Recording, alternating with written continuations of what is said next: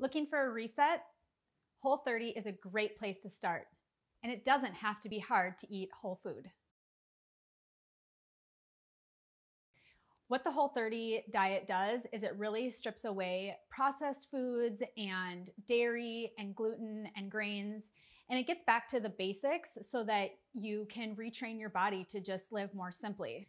Elmhurst products are perfect for this diet because they are made with simpler and better ingredients and they're less processed. They use fewer harmful ingredients, and your digestive system knows exactly what they are and how to process them.